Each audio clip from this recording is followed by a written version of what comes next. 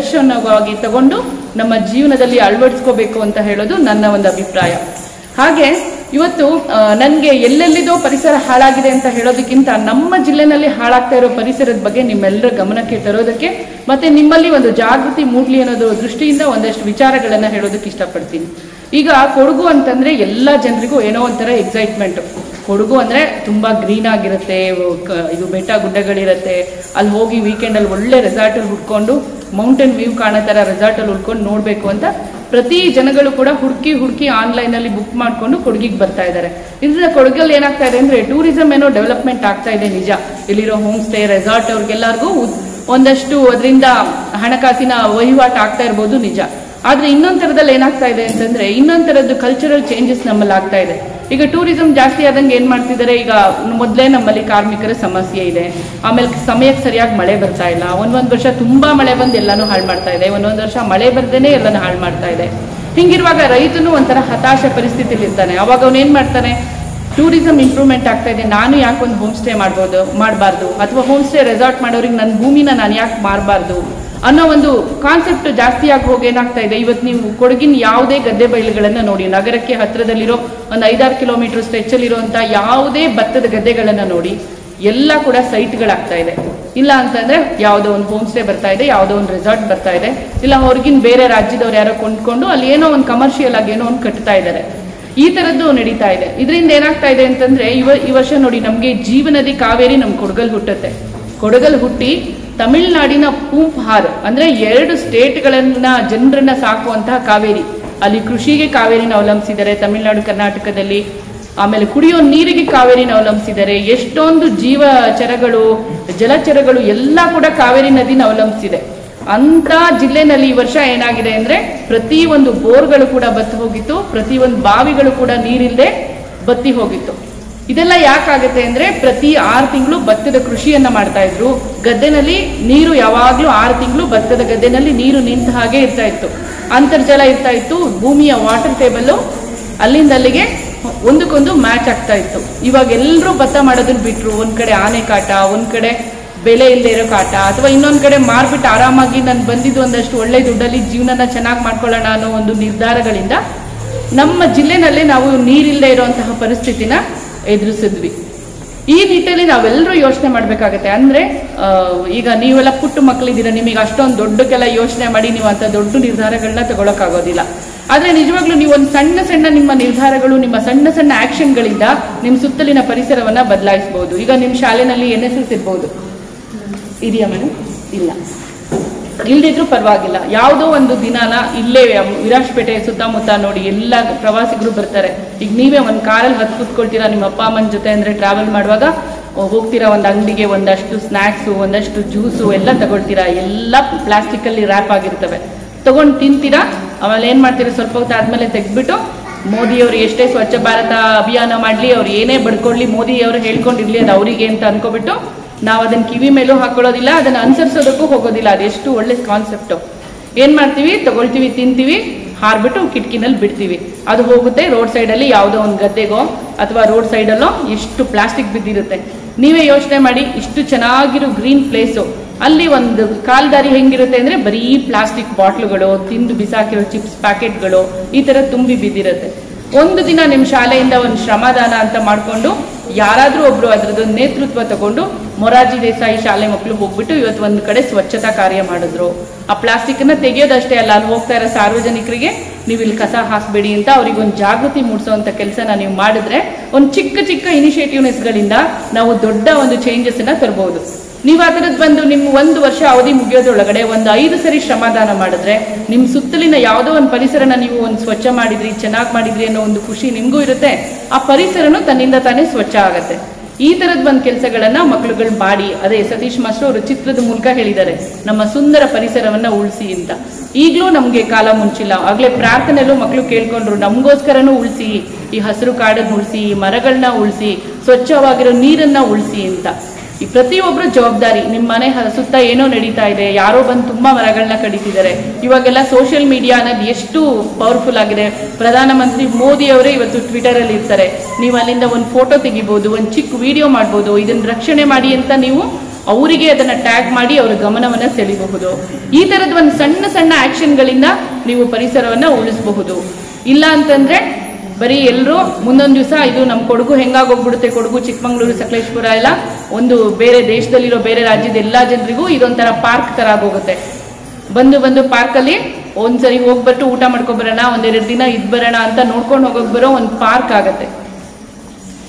ಅದಕ್ಕೆ ಏನು ಮಾಡಬೇಕು? ಪ್ರತಿ ಊರಲ್ಲೂ ಕಾಡನ್ನು ಬೆಳೆಸುವಂತಹ ಕೆಲಸಗಳನ್ನು ಮಾಡಬೇಕು. ಇಷ್ಟು ಹೇಳ್ತಾ ಇನ್ನು ತುಂಬ ಹೇಳಿದ್ರೆ ನಿಮ್ಮ ಚಿಕ್ಕ ತಲೆಗೆ ತುಂಬಾ ದೊಡ್ಡ ದೊಡ್ಡ ವಿಚಾರಗಳನ್ನು ತುರ್ಕೋದಕ್ಕೆ ಹೋದ್ರೆ ಅದು ಸುಮ್ಮನೆ ಒಂದು ಸಮಯ ವೇಸ್ಟ್ ವ್ಯರ್ಥ ಥರ ಆಗಬಹುದು. ಆದ್ದರಿಂದ ಇವತ್ತಿಂದನೇ ಎಲ್ಲರೂ ಕೂಡ ಪರಿಸರದ ಬಗ್ಗೆ ನನ್ನ ಕಾಳಜಿ ಏನು, ನನ್ನ ಜವಾಬ್ದಾರಿ ಏನು ಅಂತ ಪ್ರತಿಯೊಬ್ಬ ಪುಟಾಣಿ ಕೂಡ ಯೋಚಿಸ್ಬೇಕು. ಅದ್ರ ಕಡೆಗೆ ಯಾವುದಾದ್ರೂ ಒಂದು ಆಕ್ಷನ್ ತಗೊಂಡು ನಾನು ಮಮತಾ ಮೇಡಮ್ನ ಚೆಕ್ ಮಾ, ಕೇಳ್ತಾ ಇರ್ತೀನಿ. ನೋಡೋಣ, ನಿಮ್ಮ ಶಾಲೆಯಿಂದ ನೀವು ಯಾವ ಇನಿಷಿಯೇಟಿವ್ನೆಸ್ ತಗೊಂಡು ಏನು ಮಾಡ್ತೀರಾ ಅಂತ. ನೀವು ಅದನ್ನ ಮಾಡಿದ್ರೆ ನಾವು ಇಲ್ಲಿ ನೋಡಿ ಹೆಚ್ ಕೆ ಜಗದೀಶ್ ಸರ್ ಇದ್ದಾರೆ ನಮ್ಮ ಜಿಲ್ಲೆಯ ಹಿರಿಯ ಪತ್ರಕರ್ತರು. ನಾವಿದ್ದೀವಿ. ಅದನ್ನೆಲ್ಲ ಒಂದು ಸುಂದರವಾದ ವರದಿನ ಮಾಡಿ ಪತ್ರಿಕೆಗಳಲ್ಲೂ ಕೂಡ ಈ ಥರ ನಿಮ್ಮ ಕೆಲಸನ ನಾವು ಮೆಚ್ಚುಗೆನ ವ್ಯಕ್ತಪಡಿಸೋ ಥರ ಖಂಡಿತವಾಗ್ಲೂ ಮಾಡ್ತೀವಿ. ಎಲ್ಲರೂ ಆ ಕೆಲಸನ ಮಾಡಿ, ಮಮತಾ ಮೇಡಮ್ ಅವ್ರಿಗೂ ಇದು ಒಂದು ನನ್ನ ಈ ಪರಿಸರ ದಿನಕ್ಕೆ ನೀವು ಕೊಡೋ ಒಂದು ಕೊಡುಗೆ ಅಂತಂದ್ರೆ ಯಾವುದಾದ್ರೂ ಒಂದು ಪರಿಸರನ ಸ್ವಚ್ಛ ಮಾಡೋದು, ನಿಮ್ಮ ಸ್ಕೂಲಲ್ಲಿ ಬೆಳೆಸಿದಂತಹ ಬಾದಾಮಿ ಗಿಡಗಳು, ಅದು ಮುಂದಿನ ವರ್ಷಕ್ಕೆ ಹೇಗಿರುತ್ತೆ ಅಂತ ನೀವು, ನೀವೇ ಒಂದು ಫೋಟೋ ತೆಗೆದು ಅಥವಾ ನೀವೇ ಒಂದು ವಿಡಿಯೋ ಮಾಡಿ ಹಾಕುವಂಥದ್ದು ಈ ಥರದ ಒಂದು ಕೆಲಸಗಳನ್ನು ಮಾಡಿ ಅಂತ ಹೇಳ್ತಾ ಪ್ರತಿಯೊಬ್ಬರು ಕೂಡ ನಿಮ್ಮ ಸುತ್ತ ಇರೋ ಪರಿಸರದ ಬಗ್ಗೆ ಒಂದು ಜಾಗೃತಿಯನ್ನು ವಹಿಸಿ ಅದನ್ನು ಜೋಪಾನವಾಗಿ ಕಾಪಾಡಬೇಕು. ಇವತ್ತು ನಾವಷ್ಟೇ ಈ ಮರನ, ಈ ಸುಂದರವಾಗಿರೋ ಕೊಡುಗನ್ನ ನೋಡಿದ್ರೆ ಸಾಕಾಗಲ್ಲ. ನಮ್ಮ ನೆಕ್ಸ್ಟ್ ಮುಂದಿನ ಹತ್ತು ವರ್ಷದವರು ಬಂದ್ರೂ ಇದೇ ಬೆಟ್ಟ ಹೀಗೆ ಇರಬೇಕು ಮಲೆತಿರಿಕೆ ಬೆಟ್ಟ, ಇದೇ ತರ ಹಸಿರು ಕಾಣಿಸ್ತಾ ಇರಬೇಕು ಅವರಿಗೂ ಅವಾಗ ಮಾತ್ರ ಭೂಮಿ ಉಳಿದಿದೆ ಅಂತ ಅರ್ಥ. ಇಷ್ಟು ಹೇಳ್ತಾ ಈ ಒಂದು ಸುಂದರವಾದ ಅವಕಾಶವನ್ನು ಮಾಡಿಕೊಟ್ಟಂತಹ ಈ- ಶಾಲೆಯ ಪ್ರಾಂಶುಪಾಲರಿಗೂ, ಶನೀಶ್ವರ ಭಕ್ತಜನ ಮಂಡಳಿ ಹಾಗೂ ಅರಣ್ಯ ಇಲಾಖೆಯ ಎಲ್ಲ ಅಧಿಕಾರಿಗಳಿಗೂ ಕೂಡ ನನ್ನ ವಂದನೆಯನ್ನು ತಿಳಿಸ್ತಾ ನನ್ನ ಮಾತುಗಳನ್ನು ಮುಗಿಸ್ತೇನೆ. ಧನ್ಯವಾದಗಳು. ಸರ್ಕಾರಕ್ಕೆ ಅಥವಾ ಶಿಕ್ಷಣ ಸಚಿವರಿಗೆ ಇರ್ಬೋದು ಅಥವಾ ಕೇಂದ್ರದಲ್ಲಿ ಇರ್ತಕ್ಕಂಥವ್ರೇ ಇರ್ಬೋದು ಅಥವಾ ಜಿಲ್ಲೆಯಲ್ಲಿ ಸಂಬಂಧಪಟ್ಟಂಥ ಆಡಳಿತದ ಆಡಳಿತಕ್ಕಿರ್ಬೋದು ನಾನು ಮನವಿ ಮಾಡ್ಕೊಳ್ಳೋದೇನಂತ ಹೇಳಿದರೆ ಇಂತಹ ಅರ್ಥಪೂರ್ಣ ಯೋಜನೆಗಳಲ್ಲಿ ಆ ವಾರ್ಷಿಕ, ಆ ಶೈಕ್ಷಣಿಕ ಪಟ್ಟಿಯಲ್ಲಿ ಏನಿದೆ, ಆ ಕಾರ್ಯಕ್ರಮಗಳಲ್ಲಿ ಸರ್ಕಾರದ ವೆಚ್ಚದಲ್ಲಿ ಕರ್ಕೊಂಡು ಹೋಗ್ತಕ್ಕಂಥ ಒಂದು ಕೆಲಸ ಆಗಬೇಕು ಅಂತ ಹೇಳ್ತಕ್ಕಂಥದ್ದು. ಮತ್ತು ಉಷಾ ಪ್ರೀತಮ್ ಅವರು ಈ ವನ್ಯಜೀವಿ ಮಾನವನ ಸಂಘರ್ಷದ ವಿಚಾರ ಕೂಡ ಮಾತನಾಡಿದರು. ಈಗ ನೋಡಿ, ನಮಗೆ ವನ್ಯಜೀವಿಗಳನ್ನು ಉಳಿಸ್ಕೊಳ್ಳುವಂಥದ್ದು ತುಂಬ ಮುಖ್ಯ ಇದೆ.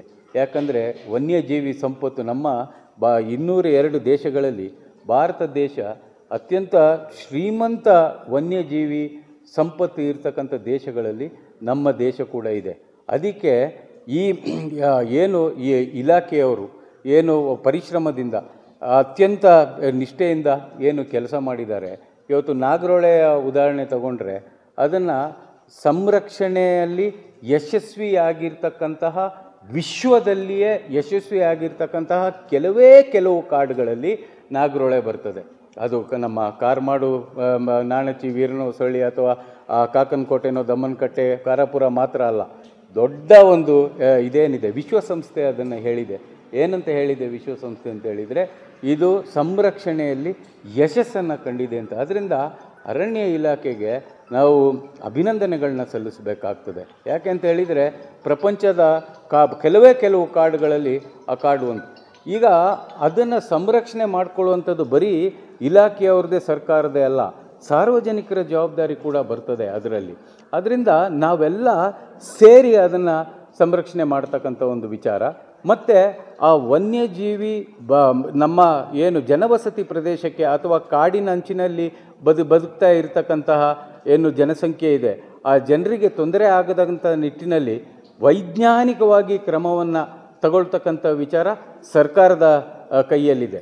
ಈಗ ಮೊಟ್ಟ ಮೊದಲನೇದಾಗಿ ಈಗ ನಾವು ಬರೀ ಸರ್ಕಾರವನ್ನು ಅಥವಾ ಇಲಾಖೆಯನ್ನು ಅಥವಾ ಅರಣ್ಯ ಪ್ರದೇಶ ಸುತ್ತಮುತ್ತಲಿರುವಂಥ ಸಾರ್ವಜನಿಕರನ್ನು ಪ್ರತ್ಯೇಕವಾಗಿ ದೋಷಣೆ ಮಾಡಿ ಇದರಲ್ಲಿ ಏನು ನಾವು ಸಮಸ್ಯೆಗೆ ಪರಿಹಾರ ಕಂಡುಹಿಡಿಯೋಕ್ಕಾಗೋದಿಲ್ಲ. ಮೊಟ್ಟ ಮೊದಲನೇದಾಗಿ ಇಲ್ಲಿ ನಾವು ಆ ಸಮಸ್ಯೆ ಬೇರನ್ನು ಅರ್ಥಕೊಳ್ಬೇಕಾಗ್ತದೆ ಮೊಟ್ಟ ಮೊದಲನೇದಾಗಿ ಸರ್ಕಾರಗಳು ಯಾರೇ ಬರಲಿ ಈಗ ನಾವು ಕೊಡಗಿನಲ್ಲಿ ಐವತ್ತಾರರಿಂದ ಇವತ್ತು ತನಕ ಎಷ್ಟೋ ಸರ್ಕಾರಗಳನ್ನ ನೋಡಿದ್ದೇವೆ ಅಥವಾ ಕೇಂದ್ರದಲ್ಲೂ ಕೂಡ ನಾವು ನೋಡಿದ್ದೇವೆ. ಕೇಂದ್ರ ಸರ್ಕಾರದ್ದು ಜವಾಬ್ದಾರಿ ಇದೆ, ರಾಜ್ಯ ಸರ್ಕಾರದ್ದು ಜವಾಬ್ದಾರಿ ಇದೆ ಜಿಲ್ಲಾಡಳಿತದೂ ಜವಾಬ್ದಾರಿ ಇದೆ ಇದರಲ್ಲಿ. ಆದ್ದರಿಂದ ಇಲ್ಲಿ ಮೊಟ್ಟ ಮೊದಲು ನಾವು ಸಮಸ್ಯೆ ಇದೆ ಅಂತ ಹೇಳುವಂಥದ್ದು ಸರ್ಕಾರಗಳಿಗೆ ಅರ್ಥ ಆಗಬೇಕು.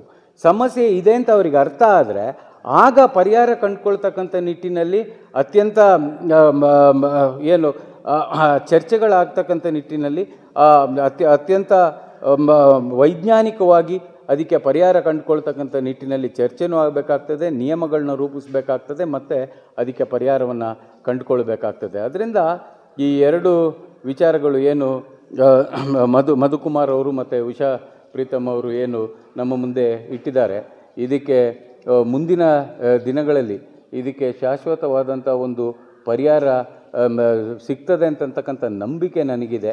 ಆ ನಿಟ್ಟಿನಲ್ಲಿ ನಾವೆಲ್ಲರೂ ಜವಾಬ್ದಾರಿ ತಗೊಂಡು ಬರೀ ಇಲಾಖೆ ಮೇಲೆ, ಸರ್ಕಾರದ ಮೇಲೆ ಹೇಳೋದಲ್ಲ, ನಾವೆಲ್ಲ ಸಮಾಜ ಅದನ್ನು ಜವಾಬ್ದಾರಿ ಅಂತ, ಜವಾಬ್ದಾರಿ ಹೊತ್ಕೊಂಡು ನಾವು ಕೆಲಸ ಮಾಡ್ಕೊಂಡು ಹೋಗೋಣ. ಮುಖ್ಯವಾಗಿ ನೀವು ಮಕ್ಕಳು, ವಿದ್ಯಾರ್ಥಿ, ವಿದ್ಯಾರ್ಥಿನಿಯರು ಏನಿದ್ದೀರಿ, ಇನ್ನು ಕೆಲವೇ ವರ್ಷಗಳಲ್ಲಿ ನೀವು ಈ ದೇಶದ ಜವಾಬ್ದಾರಿತ ನಾಗರಿಕರಾಗಿ ನೀವು ಹೊರಹೊಮ್ಮುತ್ತೀರಿ ನಿಮ್ಮದೇ ಆದಂಥ ಬದುಕನ್ನು ಕಟ್ಕೊಳ್ತೀರಿ. ಅಂಥ ಸಂದರ್ಭದಲ್ಲಿ ಸಮಾಜಕ್ಕೆ ನಮ್ಮ ಜುನೇದ್ ಅವರು ಏನು ಮಾಡಿದರು ಈಗ ನಾವು ಬರೀ ನಮ್ಮ ವೃತ್ತಿ ಅಥವಾ ನಮ್ಮ ಕುಟುಂಬ ಅಥವಾ ನಮ್ಮ ಮನೆಯಲ್ಲಿ ನಾವು ಬದುಕಬೇಕು ಅಂತ ಹೇಳ್ತಕ್ಕಂಥದ್ದಲ್ಲ. ಸಮಾಜಕ್ಕೋಸ್ಕರ ನಾವು ಏನು ಮಾಡ್ತೇವೆ ಅಂತ, ಯಾಕೆಂದರೆ ಪ್ರತಿಯೊಬ್ಬರು ನಾವು ಸಮಾಜಕ್ಕೋಸ್ಕರ, ನಮ್ಮ ಬದುಕಿನಲ್ಲಿ ಸಮಾಜಕ್ಕೋಸ್ಕರ ನಮ್ಮ ಕೊಡುಗೆ ಇರಲೇಬೇಕಾಗ್ತದೆ. ನಮ್ಮ ವೃತ್ತಿ ನಮಗೆ ತುಂಬ ಮುಖ್ಯ ಇದೆ. ನಮಗೆ ಜೀವಮಾನಕ್ಕೆ ಬೇಕಾಗಿರ್ತಕ್ಕಂಥ ಹಣವನ್ನು ಸಂಪಾದನೆ ಮಾಡೋದು ಕೂಡ ನಮಗೆ ತುಂಬ ಮುಖ್ಯ ಇದೆ.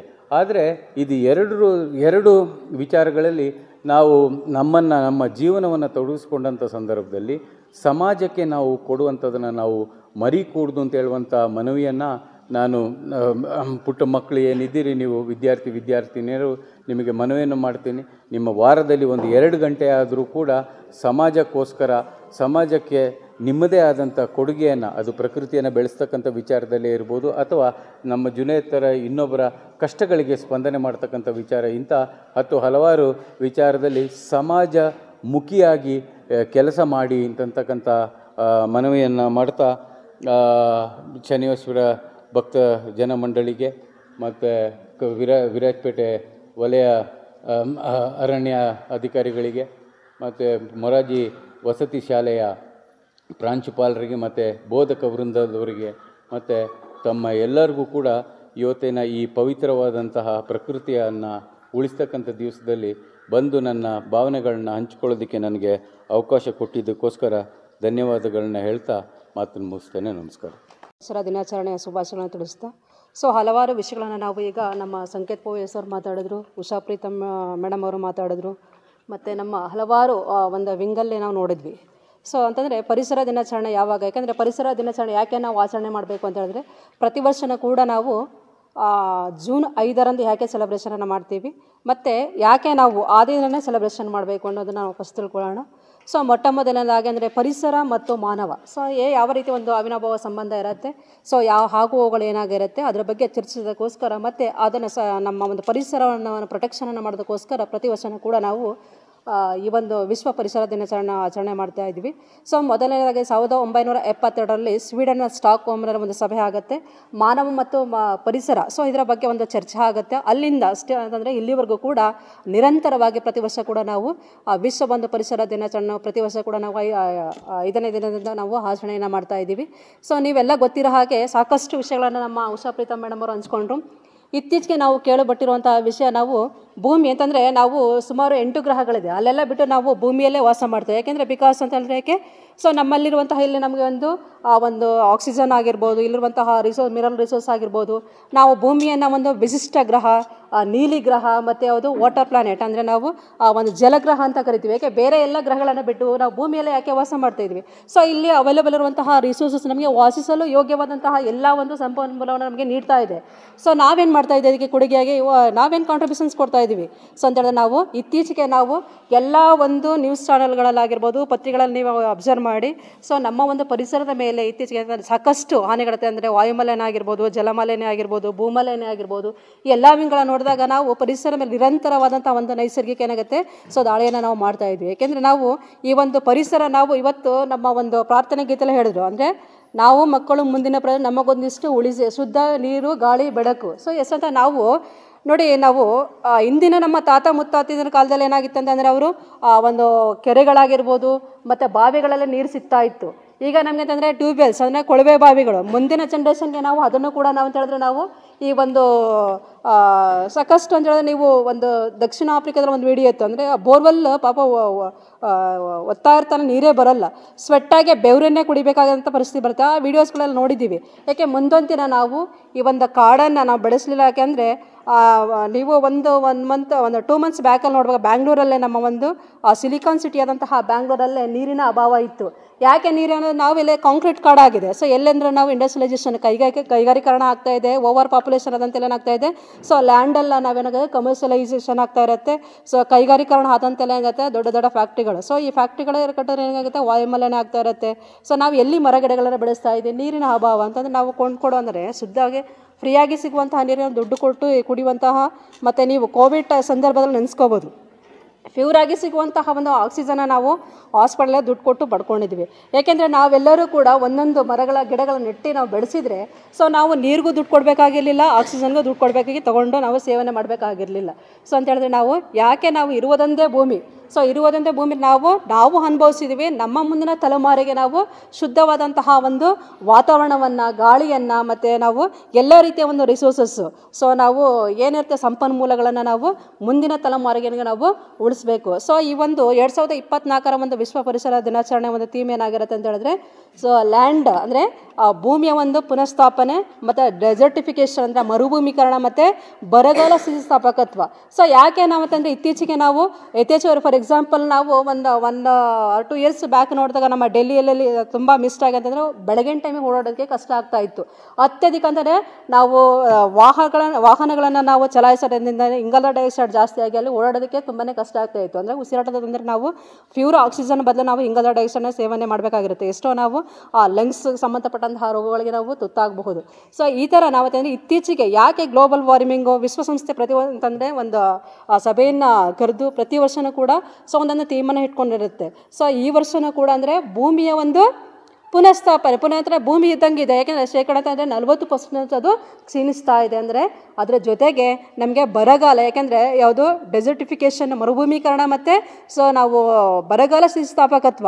ಈಗ ನೀವು ನೋಡಿದಾಗ ಶೇಕಡ ಇಪ್ಪತ್ತೊಂಬತ್ತರಷ್ಟು ಅಂತಂದರೆ ನಾವು ಏನು ಈ ಒಂದು ಒಂದು ಫಿಫ್ಟೀನ್ ಡೇಸಲ್ಲಿ ಅಂತಂದರೆ ಈ ಒಂದು ತಿಂಗಳಲ್ಲೇ ಮಳೆ ಆಗಿರ್ಬೋದು. ಅದರಿಂದ ಈಚೆಗೆ ನಾವು ಮೋರ್ ದೆನ್ ಅಂತಂದರೆ ಫಿಫ್ಟಿ ಟು ಡಿಗ್ರಿ ಸೆಲ್ಸಿಯಸ್ ಅಷ್ಟು ಈ ಒಂದು, ಏನು ಟೆಂಪ್ರೇಚರನ್ನು ನಾವು ಅತಿ ಹೆಚ್ಚು ಇನ್ಕ್ರೀಸ್ ಆಗಿರೋದನ್ನು ನೋಡ್ಬೋದು. ಅಷ್ಟೆಲ್ಲ ನಾವು ಅಂದರೆ ಈ ಗ್ಲೋಬಲ್ ವಾರ್ಮಿಂಗ್ ಜಾಸ್ತಿ ಇದಂತೆಲ್ಲ ಅಂದರೆ ಮಾನವನ ಒಂದು ಉಳಿವಿಗೆ ಅಂದರೆ ನಾಶಕ್ಕೆ ಅಂತಂದರೆ ಅದು ಕಾರಣ ಆಗ್ತಾ ಇರತ್ತೆ. ಸೊ ಈ ಒಂದು ಎಲ್ಲ ರೀತಿಯ ಒಂದು ಪರಿಸರಕ್ಕೆ ಸಂಬಂಧಪಟ್ಟಂತಹ ಒಂದು ಸಮಸ್ಯೆಗಳನ್ನು ನಾವು ನಮ್ಮಲ್ಲೇ ಯಾವುದು, ನಾವೇ ಸಮಸ್ಯೆನೇ ಕ್ರಿಯೇಟ್ ಮಾಡ್ತೀವಿ, ನಾವೇ ಆ ಒಂದು ಆ ಒಂದು ಸಮಸ್ಯೆಗೆ ನಾವು ಪರಿಹಾರವನ್ನು ಕಂಡುಕೊಳ್ಬೇಕು. ಅಂದರೆ ಈಗ ನಾವು ಹಸಿರೇ ಉಸಿರು, ಕಾಡನ್ನು ಬೆಳೆಸಿ, ನಾಡನ್ನು ಬೆಳೆಸಿ, ಅಂದರೆ ನಾಡನ್ನು ಉಳಿಸಿ ಅಂತ. ಹಸಿರೇ ಉಸಿರು ಅಂತಂದರೆ ನಾವು ಪ್ರತಿಯೊಬ್ಬರು ಕೂಡ ಸೊ ಯಾಕೆ ಈ ಒಂದು ವಿದ್ಯಾರ್ಥಿ ಜೀವನದಲ್ಲಿ, ಯಾಕೆ ಅಂತಂದರೆ ಅವರು ಬೇರೆ ಒಂದು ಸಂಸ್ಥೆಗಳನ್ನು ಆಯ್ಕೆ ಮಾಡ್ಬೋದಾಗಿತ್ತು. ಸೊ ಯಾಕೆ ಈ ಒಂದು ವಿದ್ಯಾಸಂಸ್ಥೆಯನ್ನು ಆಯ್ಕೆ ಮಾಡಿಕೊಂಡು ಇಲ್ಲಿ ಒಂದು ಪ್ರೋಗ್ರಾಮನ್ನು ಪ್ರತಿ ವರ್ಷನೂ ಕೂಡ ನಮ್ಮ ಒಂದು ಅರಣ್ಯ ಇಲಾಖೆ ಒಂದು ಕೊಲಬ್ರೇಷನ್ ಜೊತೆಗೆ ನಾವು ಪ್ರತಿ ವರ್ಷನೂ ಕೂಡ ಸೆಲೆಬ್ರೇಷನ್ ಮಾಡ್ತಾ ಇರ್ತೀವಿ. ಯಾಕೆ? ಈ ಒಂದು ಶೈಕ್ಷಣಿಕ ಒಂದು ಎಜುಕೇಷನ್ ಇನ್ಸ್ಟಿಟ್ಯೂಟನ್ನು ಆಯ್ಕೆ ಮಾಡ್ಕೊಂಡಿದ್ದಾರೆ ಅಂತ ಹೇಳಿದರೆ ಸೊ ನೀವು ಕೂಡ ಮುಂದಿನ ಪ್ರಜೆಗಳಾಗಿರ್ತೀರ ನಿಮ್ಮದು ಕೂಡ ಜವಾಬ್ದಾರಿ ಇರುತ್ತೆ. ಸೊ ನೀವೊಂದು ಬರ್ಡೇ ಮಾಡ್ತಾ ಇರ್ತೀರ? ಒಂದೊಂದು ಗಿಡ ಕೊಟ್ಟರೆ ಸೊ ಅಂತಂದರೆ ನೀವು ಒಂದು ಕಾಂಟ್ರಿಬ್ಯೂಷನ್ಸ್ ಹೋಗಿ ದೇಶದಲ್ಲಿ ನೀವು ಬಾರ್ಡರ್ ಕಾಯಬೇಕಾಗಿಲ್ಲ. ಯಾಕೆಂದರೆ ಒಂದೊಂದು ಗಿಡ ಬೆಳೆಸಿದ್ರೆ ಸೊ ನಮಗೆ ಒಳ್ಳೆ ಆಕ್ಸಿಜನ್ ಸಿಗುತ್ತೆ, ಪರಿಸರನೂ ಕೂಡ ಚೆನ್ನಾಗಿರುತ್ತೆ.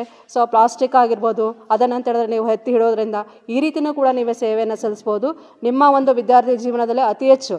ಈಗ ನಾವಂತ ಹೇಳಿದ್ರೆ ಎಷ್ಟೆಲ್ಲ ನಮಗೆ ಭೂಮಿ ಕೊಟ್ಟಿದೆ. ಆ ಒಂದು ಈ ಭೂಮಿಯನ್ನು ಸಂರಕ್ಷಿಸುವಂತಹ ಜವಾಬ್ದಾರಿ ನಮಗೆ ನಿಮಗೆ ಎಲ್ಲರಿಗೂ ಕೂಡ ಇದೆ ಅಂತ ಹೇಳ್ತಾ ಇಷ್ಟು ಹೇಳಲು ಅವಕಾಶ ಮಾಡಿಕೊಟ್ಟಂತಹ ಎಲ್ಲರಿಗೂ ಒಂದಿಸ್ತಾ ನನ್ನ ಮಾತನ್ನು ಮುಗಿಸ್ತೀನಿ. ಥ್ಯಾಂಕ್ ಯು ಸರ್ ಪರಿಸರದಲ್ಲಿ ಒಂದಷ್ಟು ಹೊಸ ಅನುಭವಗಳನ್ನ ತಾವು ಮಾಡಿದ್ರಿ ಇಪ್ಪತ್ತು ವರ್ಷದಿಂದ.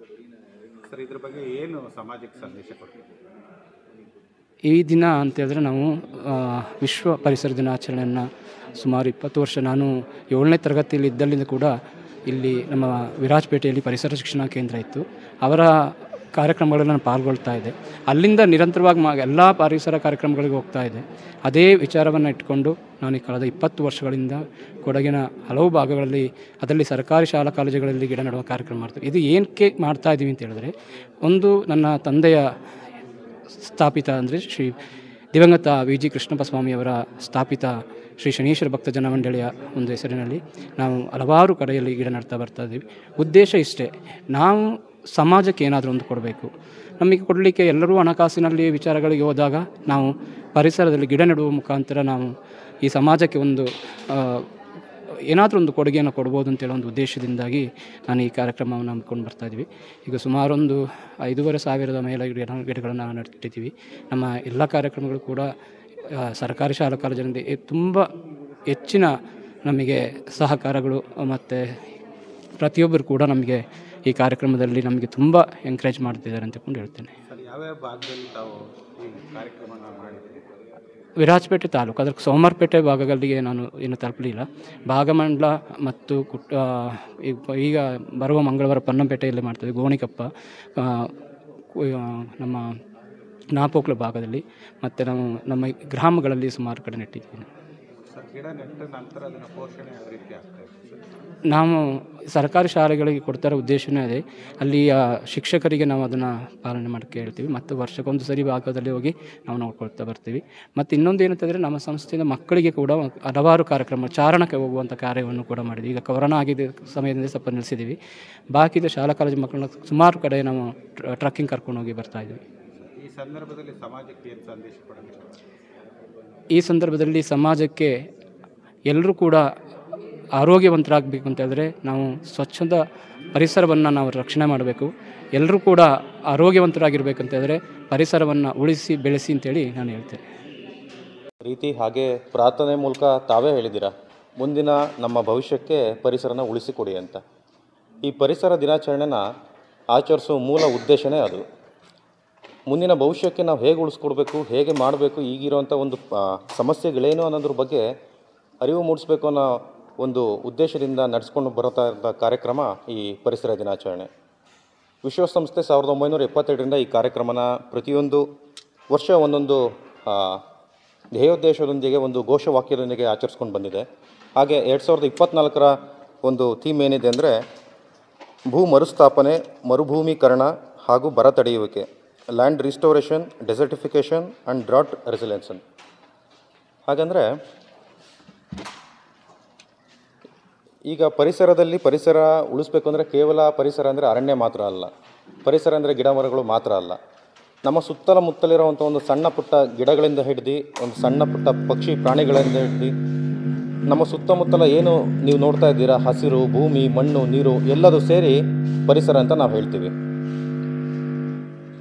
ನಾವು ಪರಿಸರನ ಅರಣ್ಯನ ಯಾವ ಇದಕ್ಕೆ ನಾವು ಡಿಪೆಂಡ್ ಆಗಿದ್ದೀವಿ ಅಂದರೆ ನೀರು, ಗಾಳಿ, ನದಿಗಳ ಮೂಲ ಎಲ್ಲದನ್ನೂ ಹೇಳ್ತೀವಿ. ಅದೇ ರೀತಿ ಅವುಗಳ ಮೇಲೆ ಆಗ್ತಿರುವಂಥ ಒಂದು ಮಾಲಿನ್ಯನ ತಡೆಗಟ್ಟಲಿಕ್ಕೆ ನಾವು ತುಂಬ ಹಲವು ರೀತಿಯ ಒಂದು ಯೋಜನೆಗಳನ್ನು ಹಮ್ಮಿಕೊಂಡಿದ್ದೀವಿ. ಆದರೆ ಮಕ್ಕಳಾಗಿ, ಸಮಾಜದ ಒಂದು ನಾವು ಅಂಗವಾಗಿ ಅಥವಾ ಒಂದು ಪೋಷಕ ವೃಂದದವರಾಗಿ, ಒಂದು ವಿದ್ಯಾಸಂಸ್ಥೆಯ ಪ್ರಜೆಗಳಾಗಿ ಅಥವಾ ಸಾಮಾನ್ಯ ನಾಗರಿಕರಾಗಿ ನಾವೇನು ಕೊಡುಗೆ ಕೊಡ್ಬೋದು ಅನ್ನೋದನ್ನು ನಾನು ಒಂದು ಎರಡು ಮಾತಲ್ಲಿ ಹೇಳಲಿಕ್ಕೆ ಇಷ್ಟಪಡ್ತೀನಿ. ಅರಣ್ಯನ ಉಳಿಸ್ಲಿಕ್ಕೆ ನಮ್ಮ ಅರಣ್ಯ ಇಲಾಖೆ ಸತತ ಪ್ರಯತ್ನಗಳು ಮಾಡ್ತಾ ಇದೆ. ಅರಣ್ಯನ ನಾವು ಕಾಪಾಡ್ತೀವಿ. ಆದರೆ ನೈಸರ್ಗಿಕವಾದ ಅರಣ್ಯದ ಮೇಲೆ ಆಗುವಂಥ ಒಂದು ಹೊಡೆತನ, ಅದ್ರ ಮೇಲೆ ಬೀಳ್ತಾ ಇರುವಂಥ ಒಂದು ಪ್ರೆಷರ್ನ ತಡಿಲಿಕ್ಕೆ ಸಮಾಜಮುಖಿ ಕೆಲಸಗಳ ಮೂಲಕ ಈ ರೀತಿ ನಮ್ಮ ಸಂಸ್ಥೆಗಳು ಏನು ಪರಿಸರ ದಿನಾಚರಣೆಯಿಂದ ಹಿಡಿದು ವರ್ಷ ಪೂರ್ತಿ ಸಸಿ ನೆಡೋ ಕಾರ್ಯಕ್ರಮ ಮತ್ತು ಸಸಿಗಳನ್ನ ವಿತರಣೆ ಕಾರ್ಯಕ್ರಮಗಳನ್ನ ಮಾಡ್ಕೊಂಡು ಬರ್ತಾ ಇದೆ. ಇದ್ರ ಮೂಲಕವೂ ಸಮೇತ ನೈಸರ್ಗಿಕ ಅರಣ್ಯ ಮೇಲೆ ಆಗ್ತಾ ಇರುವಂಥ ಒಂದು ಒತ್ತಡನ ಕಡಿಮೆ ಮಾಡ್ತಾ ಇದ್ದಾರೆ. ಅದು ಹೇಗೆ ಅಂದರೆ ಒಂದು ನೂರು ಗಿಡಗಳನ್ನ ನಿಮ್ಮ ಶಾಲಾ ಆವರಣದಲ್ಲಿ ಈಗ ನೆಡ್ತೀವಿ ನಾವು. ನೂರು ಗಿಡಗಳು ಹೇಗೆ ನಮಗೆ ಪರಿಸರಕ್ಕೆ ಪೂರಕವಾಗ್ತವೆ ಅಂದರೆ, ನೀವೆಲ್ಲ ನೋಡಿದ್ದೀರಾ, ಇಂಗಾಲ, ಕಾರ್ಬನ್ ಸಿಂಕ್ ಅಂತ. ಇಂಗಾಲನ ಪ- ಏನು ಶೇಖರಣೆ ಮಾಡ್ಕೊಳ್ಳಿಕ್ಕೆ ನಾವೆಲ್ಲ ಪ್ರತಿಯೊಂದು ಅರಣ್ಯಗಳನ್ನೇ ಡಿಪೆಂಡ್ ಆಗ್ತಾ ಹೋದರೆ, ಇಂಗಾಲ ಮೇನ್ ನಮ್ಮಲ್ಲಿ ಪ್ರೊಡಕ್ಷನ್ ಆಗ್ತಿರೋದಿಲ್ಲಿ ನಗರಗಳಲ್ಲಿ. ಸಿಟಿಯಲ್ಲಿ, ನಗರಗಳಲ್ಲಿ ಪೊಲ್ಯೂಷನ್ ಎಲ್ಲ ಆಗ್ತಿದೆ? ವೆಹಿಕಲ್ಸ್ ಎಲ್ಲಿದೆ? ಅಲ್ಲಿ ಪ್ರೊಡಕ್ಷನ್ ಆಗ್ತಿರೋದು. ಅದನ್ನು ಅಲ್ಲೇ ಹೀರ್ಕೊಳ್ಳೋ ಅಂಥದ್ದನ್ನು ನಾವು ಸಣ್ಣ ಪುಟ್ಟ ಕಿರು ಅರಣ್ಯಗಳನ್ನ ನಾವು ನಾವು ನಗರದ ಮಧ್ಯದಲ್ಲಿ, ನಗರ ಹಸಿರೀಕರಣ ಯೋಜನೆ ಮತ್ತು ಇತ್ಯಾದಿ ಯೋಜನೆಗಳು ನಾವು ಮಾಡ್ತಾ ಇದ್ದೀವಿ. ಅದೇ ರೀತಿ ನಿಮ್ಮ ನಿಮ್ಮ ಮನೆಗಳಲ್ಲಿ, ನಿಮ್ಮ ನಿಮ್ಮ ಒಂದು ವಿದ್ಯಾಸಂಸ್ಥೆಗಳಲ್ಲಿ ನೆಡುವಂಥ ಹತ್ತು ಮರಗಳು ಅಲ್ಲಿ ಒಂದು ಒಂದು ಕಿರು ವಾತಾವರಣನ ನಿರ್ಮಾಣ ಮಾಡುತ್ತೆ. ಒಂದು ಮೈಕ್ರೋ ಕ್ಲೈಮೇಟ್ ಅಂತ. ತಾವೆಲ್ಲ ಹೈಸ್ಕೂಲ್ ವಿದ್ಯಾರ್ಥಿಗಳಿದ್ದೀರಾ, ತಮ್ಮಲ್ಲೆಲ್ಲ ಬರುತ್ತೆ. ಆ ಕಿರು ಒಂದು ಏನಿದೆ, ಮೈಕ್ರೋ ಕ್ಲೈಮೇಟು, ಆ ಕಿರು ವಾತಾವರಣ ಪರಿಸರ, ಆ ಸೂಕ್ಷ್ಮ ಪರಿಸರ ಏನು ಕ್ರಿಯೇಟ್ ಮಾಡುತ್ತೆ? ಆ ಮರಗಳ ಕೆಳಗಡೆ ಇರುವಂಥ ಒಂದು ಸೂಕ್ಷ್ಮ ಸೂಕ್ಷ್ಮ ಜೀವಿಗಳು ಆ ಸೂಕ್ಷ್ಮಾಣು ಜೀವಿಗಳಿಗೆ ಆಸರೆ ಆಗುತ್ತೆ. ಆ ಮರದಲ್ಲಿ ಬಿಡುವಂಥ ಹಣ್ಣುಗಳು ಸುತ್ತಮುತ್ತಲು ಹಕ್ಕಿ ಪಕ್ಷಿಗಳಿಗೆ ಆಹಾರ ಆಗುತ್ತೆ. ಆ ಮರದಲ್ಲಿ ಬರುವಂಥ ಸೌದೆ ಸುತ್ತಮುತ್ತಲು ನಿಮ್ಮ ಒಂದು ಅನುಕೂಲಕ್ಕಾಗುತ್ತೆ ಹಾಗೆ ಆ ಮರದಲ್ಲಿ ಬೇರುಗಳು ಏನಿದೆ, ಅದು ನೀರನ್ನು ಇಂಗಿಸ್ಕೊಳ್ಳಿಕ್ಕೆ ಪೂರಕವಾಗುತ್ತೆ. ಹಾಗೆಯೇ ಏಕೆಂದರೆ ಒಂದು ಮರ ಇದ್ದ ಕಡೆ ಟೆಂಪ್ರೇಚರ್ ಒಂದು ಇಪ್ಪತ್ತು ಡಿಗ್ರಿ ಇದ್ದರೆ ಮರ ಇಲ್ದಿರೋಂಥ ಬರಡು ಭೂಮಿಯಲ್ಲಿ ಒಂದು ನಲವತ್ತು ಡಿಗ್ರಿ ತನಕ ಹೋಗುತ್ತೆ. ಸೊ ಹಾಗಾಗಿ ಒಂದು ಮೈಕ್ರೋ ಕ್ಲೈಮೇಟ್ನ ಒಂದು ಮರ ನಿಮಗೆ ತಂದುಕೊಡುತ್ತೆ ಅಂದರೆ, ತಂಪನ್ನು ಒಂದು ಮರ ತಂದುಕೊಡುತ್ತೆ ಅಂದರೆ ನೀವು ನೋಡೋಂಥ ಒಂದು ಶಾಲೆಯಲ್ಲಿ ಒಂದು ನೂರು ಗಿಡಗಳು ಆ ವಾತಾವರಣದ ಒಂದು ಹವಾಗುಣನೇ ಬದಲಾವಣೆ ಮಾಡುತ್ತೆ. ಇದ್ರ ಮೂಲಕ ನೈಸರ್ಗಿಕ ಪರಿಸರದ ಮೇಲೆ ನಾವು ಅವಲಂಬನೆ ಆಗೋದನ್ನು ತಡೆಯುತ್ತೆ. ಸೊ ಹಾಗಾಗಿ ಪ್ರತಿಯೊಂದು ಗಿಡನೂ ಸಮೇತ ಪರಿಸರಕ್ಕೆ ತನ್ನದೇ ಆದ ಕೊಡುಗೆ ನೀಡುತ್ತೆ. ಹಾಗಾಗಿ ಪ್ರತಿಯೊಬ್ಬರೂ ಸಮೇತ ಒಂದೊಂದು ಗಿಡ ನೆಡ್ಬೋದು. ಆ ಪ್ರತಿಯೊಂದು ಗಿಡದ ಮೂಲಕ ನೈಸರ್ಗಿಕ ಪರಿಸರದ ಮೇಲೆ ಆಗೋಂಥ ಒತ್ತಡನ ತಡಿಬೋದು. ಹಾಗಾಗಿ ಪ್ರತಿಯೊಬ್ಬರು ಈ ಗಿಡ ನೆಡೋ ಕಾರ್ಯಕ್ರಮದಲ್ಲಿ ಭಾಗವಹಿಸಿ, ಅದರ ಮಹತ್ವ ತಿಳ್ಕೊಳ್ಳಿ. ಇದ್ರ ಪೂರ್ಣವಾಗಿ ಇನ್ನು ಸವಿಸ್ತರವಾಗಿ ನಮ್ಮ ಉಷಾ ಪ್ರೀತಮ್ ಮೇಡಮ್ ಅವರು ಹೇಳ್ತಾರೆ. ಹಾಗೆ ಈ ಕಾರ್ಯಕ್ರಮದಲ್ಲಿ ಈ ವರ್ಷದ ಥೀಮ್ ಏನಿದೆ? ಮರುಭೂಮೀಕರಣ, land restoration, desertification and drought resilience. Land restoration ಅಂದರೆ ನಿಮ್ಮ ನೀವೆಲ್ಲ ಓದಿರ್ತೀರ? ಸಕ್ಸೆಷನ್ ಅಂದರೆ ಒಂದು ಭೂಮಿ ಮರುಭೂಮಿಯಾಗಿದ್ದರೆ ಮರುಭೂಮಿಯಾಗಿ ಇರೋಲ್ಲ. ಕಾಲಾನಂತರ ನೂರಿಂದ ಐವತ್ತು ವರ್ಷದ ತನಕ ಬದಲಾವಣೆ ಆಗ್ತಾ ಹೋಗುತ್ತೆ. ಈಗ ಈ ವರ್ಷ ನೀವೊಂದು ಖಾಲಿ ಬಿಟ್ಟಂಥ ಭೂಮಿ ಮುಂದಿನ ವರ್ಷ ಒಂದು ಸಣ್ಣ ಹುಲ್ಲು ಗಾವಲು ನಿರ್ಮಾಣ ಆಗ್ಬೋದು. ಅದರ ನಂತರ ಒಂದು ಸಣ್ಣ ಕುರುಚಲು ಗಿಡಗಳು ಬೆಳಿಬೋದು ಒಂದು ಇಪ್ಪತ್ತು ವರ್ಷದಲ್ಲಿ. ಇನ್ನೊಂದು ಐವತ್ತು ವರ್ಷದಲ್ಲಿ ದೊಡ್ಡ ದೊಡ್ಡ ಮರಗಳು ಬರ್ಬೋದು. ಪ್ರತಿ ಅವರೇ ಮಾಡಬೇಕು ಅಂತ ಏನಿಲ್ಲ. ನೈಸರ್ಗಿಕವಾಗಿ ಪಕ್ಷಿಗಳಿಂದ ಬೀಜ ಪ್ರಸರಣೆ ಆಗುತ್ತೆ, ಒಂದು ಕಾಡು ನಿರ್ಮಾಣ ಆಗುತ್ತೆ. ಸೊ ಹಾಗಾಗಿ ಭೂಮಿ ಮರುಸ್ಥಾಪನೆಯಲ್ಲಿ ನಾವು ಸಹಭಾಗಿತ್ವವಾಗಿ ಬಳಸಿ ನಾವು ಗಿಡಗಳನ್ನ ನಡೆದ್ರ ಮೂಲಕ ಮಾಡ್ಬೋದು. ಮತ್ತು ಡೆಸರ್ಟಿಫಿಕ್ಷನ್. ಅಂದರೆ ಈಗೇನು ಬರಪೀಡಿತ ಪ್ರದೇಶಗಳಿದೆ ಅಥವಾ ನಿಮ್ಮಲ್ಲಿ ಏನಿದೆ ವೇಸ್ಟ್ ಲ್ಯಾಂಡ್ಗಳಿದೆ ಅಲ್ಲಿ ಅರಣ್ಯಗಳನ್ನ, ಅರಣ್ಯ ಸಸಿಗಳನ್ನ ನೆಡೋದ್ರ ಮೂಲಕ ಮರುಭೂಮೀಕರಣ ಮಾಡ್ಬೋದು. ಮತ್ತು ಬರ ತಡೆಯುವಿಕೆ. ನೀವೆಲ್ಲ ನೋಡಿದ್ದೀರಾ? ಈಗ ಈ ಕಳೆದ ಈಗ ಒಂದು ಎರಡು ತಿಂಗಳಲ್ಲಿ ಈ ಬೇಸಿಗೆಯಲ್ಲಿ ನೀರಿನ ಕೊರತೆ ಎಷ್ಟಾಯಿತು ಅಂದರೆ ಕಾವೇರಿ ನದಿಯ ಉಗಮ ಸ್ಥಾನ ಕೊಡಗು ಜಿಲ್ಲೆಯಲ್ಲೇ ಕಾವೇರಿ ಜೀವನದಿ ತನ್ನ ಹರಿಯುವಿಕೆಯನ್ನು ನಿಲ್ಲಿಸಿದೆ. ಇಲ್ಲಿ ನಿಲ್ಲಿಸಿದಂಥ ಈ ನೀರಿನ ಕೊರತೆ ಬೆಂಗಳೂರಿಗೆ ತುಂಬ ಬಿಸಿ ಮುಟ್ಟಿದೆ. ಯಾವ ಮಟ್ಟಿಗೆ ಅಂದರೆ ಈ ಕಳೆದ ಐವತ್ತು ವರ್ಷದ ಹಿಂದೆ ಅಥವಾ ಎಂಬತ್ತು ವರ್ಷದ ಹಿಂದೆ ಬೆಂಗಳೂರಲ್ಲಿ ಕಟ್ಟಿದಂಥ ದೊಡ್ಡ ದೊಡ್ಡ ಕೆರೆಗಳಿಗೆ ನೀರಿನ, ಕುಡಿಯೋ ನೀರಿನ, ನೀರಿಗೋಸ್ಕರ ಅವುಗಳನ್ನ ಡಿಪೆಂಡ್ ಆಗಬೇಕಾಗಿದೆ. ಸರ್ಕಾರ ಅಂಥ ಹಳೆ ಕೆರೆಗಳನ್ನ ಹುಡುಕ್ಬಿಟ್ಟು ಅಲ್ಲಿಂದ ನೀರನ್ನು, ಕುಡಿಯೋ ನೀರನ್ನು ಬೆಂಗಳೂರು ಸಿಟಿಗೆ ಸಪ್ಲೈ ಮಾಡೋ ಮಟ್ಟಕ್ಕೆ ನಾವು ಒಂದು ಬರನ ಕಂಡಿದ್ದೇವೆ. ಹಾಗಾಗಿ ಪ್ರತಿಯೊಂದು ಹೀಗೇನೆ. ಈಗ ಅದೇ ರೀತಿ ಕೆರೆ ಈಗ ಕುಡಿಯೋ ನೀರಿಗೆ ನದಿಗಳನ್ನೇ ಆಗಲಿ ಅಥವಾ ಮೂಲ ನದಿಗಳ ಮೂಲ ಆಗಲಿ ದೊಡ್ಡ ದೊಡ್ಡ ನದಿಗಳನ್ನು, ತೊರೆಗಳನ್ನೇ ಅವಲಂಬಿಸಬೇಕಾಗಿಲ್ಲ. ಸಣ್ಣ ಪುಟ್ಟ ಕೆರೆಗಳು ಸಹ ಅಷ್ಟೇ ಮಹತ್ವ ಇದೆ. ಆ ಕೆರೆಗಳು ಅಲ್ಲಿ ನೀರು ಇಂಗುವಿಕೆ, ನಿಮ್ಮ ಬೋರ್ವೆಲ್ನ ರೀಚಾರ್ಜ್ ಮಾಡುತ್ತೆ, ಕುಡಿಯೋ ನೀರಿಗೂ ಸಮೇತ ಹೆಲ್ಪ್ ಮಾಡುತ್ತೆ. ಸೊ ಆ ರೀತಿ ಸಣ್ಣ ಪುಟ್ಟ ಕೆರೆಗಳು ಹೇಗೆ ಒಂದು ಈ ನೋಡಿ ಬರ ಸಮಯದಲ್ಲಿ ಹೆಲ್ಪ್ ಆಯಿತು, ಅದೇ ರೀತಿ ಪರಿಸರಕ್ಕೆ ಕಾಡುಗಳನ್ನೇ ಅವಲಂಬ, ಅವಲಂಬನೆ ಆಗಬೇಕಾಗಿಲ್ಲ. ನೀವು ನೋಡೋಂಥ ಒಂದು ಸಣ್ಣ ಸಣ್ಣ ಕಿರು ಅರಣ್ಯಗಳು. ನಿಮ್ಮ ಸಂಸ್ಥೆಗಳಲ್ಲಿ ನೀವು ಬೆಳೆಸಿದ ಮನೆಗಳಲ್ಲಿ ನೆಡುವಂಥ ನಾಲ್ಕು ಸಸಿಗಳು ಪರಿಸರಕ್ಕೆ ತನ್ನದೇ ಆದ ಕೊಡುಗೆ ನೀಡುತ್ತೆ. ಇದೆಲ್ಲದರ ಬಗ್ಗೆ ಸರಿಸ್ ಸವಿಸ್ತರವಾಗಿ ಉಷಾ ಮೇಡಮ್ ಅವರು ಹೇಳ್ತಾರೆ. ಹಾಗಾಗಿ ಎಲ್ಲರೂ ಕೈ ಜೋಡಿಸಿ ಪರಿಸರವನ್ನು ಉಳಿಸಿ ಅಂತ ಎಲ್ಲರಲ್ಲಿ ಕೇಳ್ಕೊಳ್ತಾ ಇದ್ದೇನೆ.